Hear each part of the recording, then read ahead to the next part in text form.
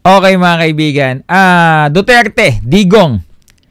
Akala mo siguro no para magtunog ka lang na astang dominante pa rin sa Senado eh wala kang pakialam kahit i-admit mo na oh sige oh talagang ah, I am in, inciting the suspect to resist sa police so that the police can kill them no yung tanong po ni Senator Risa Ontiveros mga kaibigan kala po siguro neto ni Digong eh madadala niya pa rin sa tawag dito, reverse psychology ang ating po mga senador, lalo na po si uh, Senadora Risa Ontiveros. Pero po ako naniniwala ko, dahil po dito sa mga admission niya mga kaibigan, marapat lamang po pumasok ng uh, ah, ICC. Tingnan po natin. 'Di ba? Akala niya po eh para siyang godlike, Diyos siya na may karapatan siyang, 'di ba? Ang kinina ang buhay ng kung sino nang walang due process. Hindi ho ba? Kaya po, ito po, ito, itong uh, statement na ito ni Digong mga kaibigan, nakakabahala po ito eh. Pero ano man po ang pagtatanggol ng mga DDS vloggers, kagaya po nitong Banat Bay, na, alam mo, Banat Bay, naawa na din ako sa iyo. Alam kong hirap na hirap ka na kung paano mo, di ba, papalabasing tama yung mga sablay na sinasabi ng Diyos mo, ng amo mo. Di ba? Eh, tanga na lang maniniwala sa inyo eh. Akalain mo, oh, sige, di ba? Oh, kala nila, may saan nila si Digong, ano? Eh, minsan inaamin, minsan hindi. Anong tawag mo doon? Ibig sabihin, wala na sa right state of mind. Bakit inaamin tapos hindi aamin? Banat ba? Ano ka ba naman? Di ba? Ganyan ba talaga kayo dyan, mga DDS? Mali na nga yung sinasabi, pero inadmit na. No, sige, okay. Oh, pilitin nyo manlaban na para mapatay na to, eliminate. Ika, pabor kayo dyan? Ha? Kung ikaw hanggang ngayon DDS ka pa rin, ewan ko na lang sa'yo. 'Di ba? Kung anong level ng utak meron ka, panoorin po natin ito. Mr. Chair. Mm. Yes, Senator Risa. Uh, alam na alam ko po na matatalino mga taga Philippine Military Academy. Mm. Hindi po 'yan ang issue. Ang ang kinaklarify ko po ay kanina sinabi nyo na in-encourage nyo ang PNP na i-encourage yung suspect na lumaban Yes. para mapatay, para Yes. masabing nanlaban. Correct. Correct. It, Para ito to sa very incorrect. Correct, yes. Very incorrect po, if I may Yes, say as a civilian, a- sa uh, professional police. It's, it Salamat depends tayo, on, Mr. Chair. eh, eh, ano na natin yan, ma'am. That's your view, that. uh. It's not my Hindi view only, It's not Thank you the view of uh, the beloved Senator Risa Ontiveros. Yan po ang view ng uh, sangkatauhan. Ano? Bakit? O sige, o eh, okay, manlaban ka para maubos na, matapos na. Alam mo may there is something wrong with this with this guy, Digong Duterte, 'di ba? Yes, proud pa siya. Saan ka nakita niya? Proud pa siya. I don't know if he's just playing games with our uh, senators or he's uh, playing um, like he is intimidating para matakot kung sino man yung mga nagsasagawa ng hearing na yan. Pero sa akin pong palagay, yung mga kanya po mga statements na yan ay lalong magpapalakas po ng uh, motibo o adhikain po ng uh, hindi lang ng ICC kundi po ng ating gobyerno para po uh, ibigay na sa ICC ang taong ito. This man is dangerous. At sa kung sino man mga kaano nito na ganyan na magiging mindset, he is very dangerous. 'Di ba? At kung ikaw again no, kung ikaw DDS ka pa rin na naniniwala ka sa kanya, 'di ba? Hindi mo maintindihan yung damdamin ng mga naulila ng mga biktimang namatay dyan sa EJK na yan na mga wala namang kasalanan unless mangyari yan sa inyo. Hindi ho ba? Di ba? Nakita nyo na to, di ba? Oh, sasabihin ni Banat Bay, minsan inaamin niya, minsan hindi. Ano tawag mo doon? Wala na po sa tamang uh, katinoang moral na pag-iisip yung pong uh, amo niya ni Banat Bay. Di ba? Panoorin pa natin. Hindi ka Putting it on dumaan pagka mayor, pagka prosecutor. Ako, alam ko, dumaan ako prosecutor, mayor, presidente, alam ko ang trabaho ko. Okay. Ah, sinasabi niya, hindi mo alamin. Ako, duma, ako nag-abogado ko, nag-prosecutor, nag-mayor, nag-presidente. Alam ko, trabaho ko. Okay. O, alam mo pala eh. Sige, ICC, pasukin nyo na to. Matapang pala to eh. Di ba? Pasukin niya na. Oh, eh, ano, tingnan natin kung uh, ICC na ang uh, lumiti sa iyo, tingnan natin kung may magagawa ka. 'Di ba? Sigurado po ako na yung mga kaalyado nito ay uh, hirap na hirap na ding ipagtanggol siya. Bakit? Eh pinagtatanggol ka, ikaw din umamin ka eh. Paano ka? Paano isu-sugarcoat ng mga nagtatanggol sa iyo yung sarili mo kung ikaw mismo inamin mo na? O hindi mo na pinapahirapan, pinapadali mo na ang trabaho ng ICC. 'Di ba?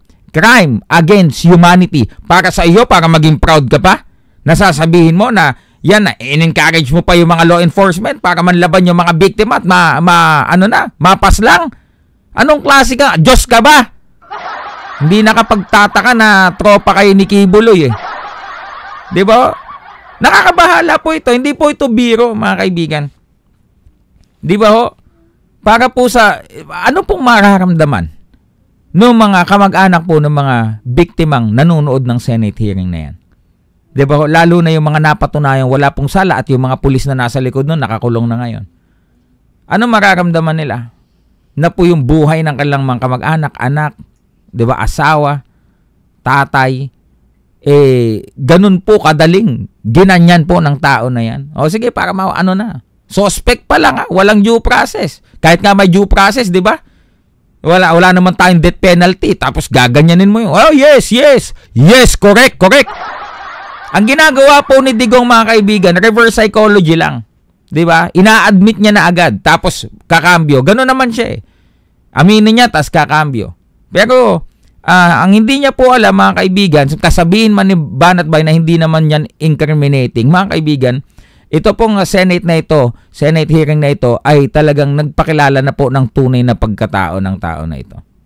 So, I'm sure no and I I hope ang ating pong administrasyon, ang ating pong Senado, ang ating Kongreso ay talaga na nga naman pong uh, gumawa na ng hakbang no para po tayo ay maging sa lalong madaling panahon kabilang na sa ICC. Muli at uh, ito po ay uh, na 'di ba ho uh, pakialaman na po nila nang sa gayon po, yung mga nabiktima po ng uh, administrasyon na ito, nung nakaraang administrasyon, ay mabigyan na po ng katarungan. Kawawa naman po eh.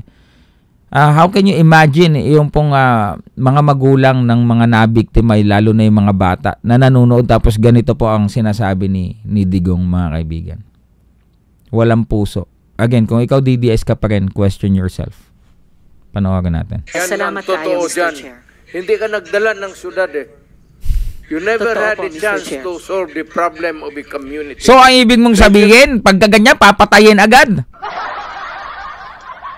'Di ba? So, si Senatora, si Senador, ah, Senator Risa Ontiveros pa ang mali. 'Di ba? Na pinapangalagaan ng karapatang pantao ng ah, mga mamamayan. Siya pa mali. Ah, hindi, ako, ako na ganito. Prosecutor ako, mayor ako, presidente ako. Ikaw, hindi mo alam yan. Mas alam ko, ginagawa ko. So, yun ang ganun yung gagawin mo patayin na lang ang kahit na sino. O yung mga nandyan din ngayon, yung mayor ng Iloilo, pag hindi mo kaalyado, ilalagay mo sa, 'di ba? Drug war mo. Pero salamat na din kasi ano siya, hindi siya nag-iwas pusoy mga kaibigan. Although karim-marim na pakinggan, at least inamin niya po. 'Di ba? Hindi na humahihirapan po ang ICC para sa taong ito. I'm sure yung mga DDS vloggers, lalo na si Banat Bay, nag nagko-content nga si Banat Bay, mangiyak-ngiyak na eh kung paano po niya, 'di ba? Uh, i-justify at igagawin pang tama itong mga uh, inamin po ni ng amo niyang si Digong. 'Di ba? Mangiyak-iyak na tayo yung mata ni Bayan at Banat Bay. Naku, paano ko ipagtatanggol ang amo ko? Hindi, read between the lines. Alam na natin yung mga linya niya ni Banat Bay. Alam niyo namang pala biro yung tao.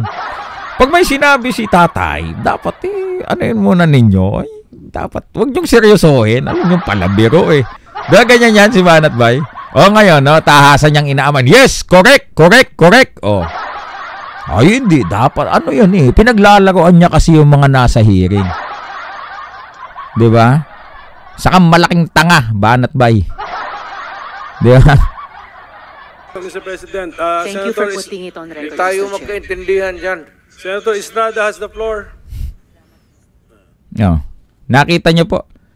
Ako po, naniniwala po ako no, na kailangan na pong uh, makialam dito ang ICC at ang ating pong bansa muling, di ba, maging kabilang, sumali po sa ICC at ang uh, ito pong usapin na to regarding extrajudicial killing at itong proud pa na tao na to na inaamin niya na yung mga nangyari pong pagpatay ay oh sige correct oh inaano ko um I I encourage the the itong mga tawag dito mga suspects na manglaban na para ano para mapadali na.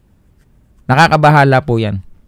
Sana po sana po kayo bilang ah, mga Bluetooth mamamayang. Pilipino kayo po ay talagang ah, mag-isip ano ho ito bang tao na to papaupuin nyo pa sa isang national position? O kahit na sino man na kamag-anak nito na parehas ng pamamalakad parehas mag-isip kagaya po nila mag-isip po kayo. Di ba ho hindi nyo mararanasan yan, hindi nyo maiintindihan, lalo na yung mga kamag-anak na ma- ng mga nabiktima, kung hindi nyo po ah, naranasan yung nangyari po sa kanilang mga mahal sa buhay. Nakakalungkot po. Sa dami po ng mga kaliwat ka ng mga nag, ah, umaamin po ngayon at ah, nakita po natin yung prog- programa ng drug war na yan, yung mga reward system. Di ba? Karumal-dumal ho ang ginawa ng tao na yan kung ikaw sinusuportahan mo pa rin, men, kilabutan ka na, 'di ba? Huwag sanang mangyari sa iyo o sa sino mang pamilya mo ang nangyari sa kahit na sinong biktima ng extrajudicial killing ng Duterte administration. Ako po si Silver Voice TV. Good day po sa inyo lahat.